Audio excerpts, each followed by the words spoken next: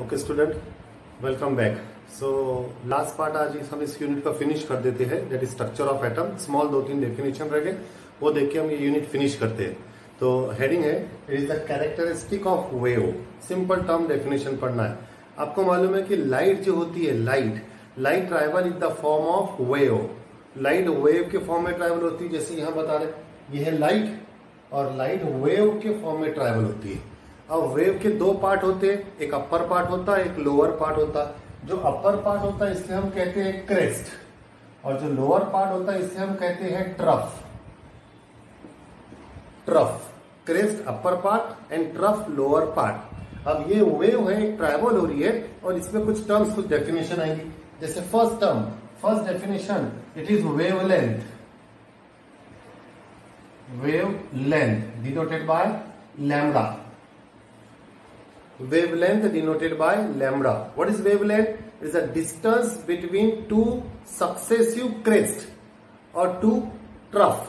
दो ट्रफ के बीच का डिस्टेंस या दो क्रेस्ट के बीच का डिस्टेंस जैसे ये दिख रहा है ये क्रेस्ट है, ये क्रेस्ट है इन दोनों के बीच का जो डिस्टेंस आएगा, उसे कहेंगे लैमडा दैट इज़ वेवलेंथ ये एक ट्रफ है, ये दूसरा ट्रफ है, इन दोनों के बीच का डिस्टेंस आएगा, उसे कहेंगे हम lambda that is wavelength so definition what is wavelength It is the distance between two successive crest or two successive trough is called as wavelength denoted by lambda and its unit is SI unit is meter. इसको metre में calculate करते हैं ऐसा unit इसका metre होता है first definition की wavelength second definition it is frequency frequency denoted by nu ये जो सिंबल है, इसको न्यू कहते हैं। N U nu frequency denoted by nu word frequency इसमें कोई भी आप एक पॉइंट ले लो। समझो आपने ये पॉइंट ले लिया एक। ये लाइट ट्रेवल हो रही है, ये एक अपने पॉइंट ले लिया। अब इस पॉइंट से जितने भी वेव पास होंगे the number of wave passes particular point in one second एक सेकेंड में इस पॉइंट से जितने भी वेव पास हो रहे हैं that number of wave passes through a point a point in one second, it is called as frequency. The number of wave passes through a one point in one second is called as frequency denoted by nu और इसका unit होता है hertz scientist का नाम है hertz x Z भी कहते हैं इसको hertz the number of wave that passes through a given point in one second it is called as frequency number third definition it is wave number wave number denoted by nu bar, new bar wave number what is wave number? New bar क्या होता है? Simple term है। It is a reciprocal of wavelength wavelength का reciprocal जैसे wavelength होता है lambda तो ये रहेगा वन अपॉन लैमडा इसकी definition the reciprocal of wavelength is called as wave number denoted by nu bar और इसका यूनिट क्या रहेगा? सिंस ये वेवलेंथ का रेसिप्रोकल है तो इसका यूनिट रहेगा मीटर इनवर्स ऐसा यूनिट ऐसा यूनिट रहेगा इसका metre inverse that is wave number और लास्ट डेफिनेशन इसकी number four it is amplitude amplitude इसका कोई सिंबल नहीं है amplitude what is this amplitude it is the height of crest और द हाइट ऑफ़ ट्रफ ये जो क्रेस्ट दिख रहा है आपको, इस क्रेस्ट की जो हाइट रहेंगी ये जो हाइट ऑफ़ क्रेस्ट है, या फिर हाइट ऑफ़ ट्रफ होती है it is called as amplitude the height of crest और height of trough is called as amplitude तो किसी भी वेव जो होती है वेव ये लाइट की होती है, इस वेव से रिलेटेड ये चार टर्म्स होते हैं wavelength frequency wave number amplitude wavelength की definition the distance between two successive crest और trough is called wavelength frequency it is the number of wave passes through a given point in one second. It is called as frequency. Wave number is the reciprocal of wave length is called as wave number. And last, what is this amplitude? It is the height of crest or height of trough. It is called as amplitude. इसमें और बहुत सारा part है characteristic of wave electromagnetic wave है electromagnetic radiation है। हम इनको इतना डिटेल नहीं पढ़ना है। ट्वेल्थ स्टैंडर्ड उतना सब कुछ नहीं है। इतना ट्वेल्थ स्टैंडर्ड काम में आएगा जो हमने आज यहाँ पे पढ़ लिया, इसको फिनिश करते हैं।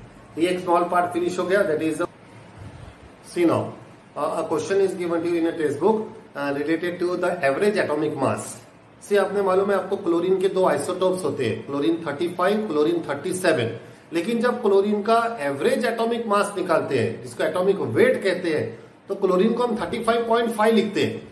क्लोरीन 35 नहीं लिखते हम, क्लोरीन 37 भी नहीं लिखते जब क्लोरीन का वेट देखा जाता है तो वो तो 35.5 बताते हैं। वो कहाँ से आता है? उसका एक फॉर्मूला है, एक न्यूमरिकल है आपके टेक्स्ट बुक में, वो अभी हम ये सॉल्व कर ले रहे हैं। So question is two isotopes of chlorine that is 35 and chlorine 37 they exist in abundance of three to one ratio इनका रेशो है three to one three to one का मतलब एक क्लोरीन जो है, वो थ्री परसेंट है थर्टी फाइव वाला। और एक क्लोरीन जो है, वो वन परसेंट है। नेचर में इनका अबंडेंस इतना है। आप अबंडेंस कहो इसको या परसेंटेज कहो। इनका एग्जिस्टेंस का परसेंटेज है। एक क्लोरीन तीन परसेंट होता है, दूसरा क्लोरीन वन परसेंट होता है। इससे हमको find the average atomic mass of chlorine तो फॉर्मूला क्या है? Average atomic mass is equal to abundance multiply by mass number of first first पहला. Abundance multiply by mass number of first isotope जैसे ये chlorine 35 multiply by plus sorry plus abundance multiply by mass number of second isotope that is chlorine 37 and divided by total abundance जितना भी लेना.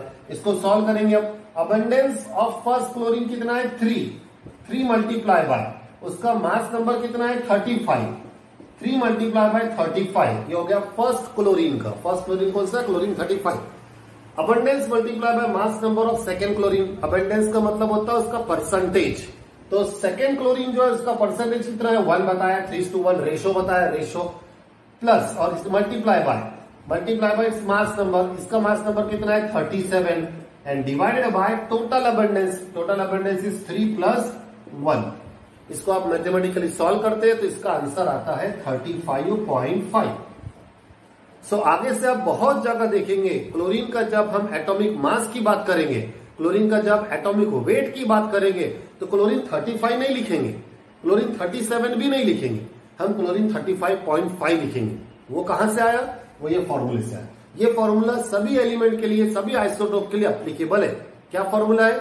Average atomic mass is equal to abundance of first multiply by its mass number plus abundance of second multiply by that mass number divided by total abundance कुछ numerical में abundance नहीं दिया रहेगा percentage दिया रहेगा। Percentage of first abundance word हटा के वहाँ परसेंटेज लगा देना। और परसेंटेज अबंडेंस यहाँ दिया रहेगा, जैसा थ्री टू वन है। समटाइम थ्री टू वन ना देते हुए इसको दिया रहेगा seventy five to twenty five ये परसेंटेज जैसे वो यहाँ पुट कर सकते हैं आप। सो जिसे एक न्यूमरिकल रह गया था टेक्स्ट बुक में है ये, इसको आप सॉल्व करके, इसको याद करके रख लीजिए। हम ये यूनिट यहाँ फिनिश करते हैं। और इसमें भी कुछ पॉइंट है जो मैंने छोड़ दिया हूँ, जो अभी हमको आवश्यकता नहीं है। आगे देखेंगे हम, पढ़ेंगे फ़िज़िकल कॉलेज ट्यूशन स्टार्ट होगी, तब देखेंगे। कल से हम नया यूनिट स्टार्ट करते हैं। इसके बाद का नेक्स्ट यूनिट जो केमिकल बॉन्डिंग है, कल हम स्टार्ट करें तब तक आप ये पूरा यूनिट रिवाइज करके रखें। Okay have a nice day stay home stay safe and stay secure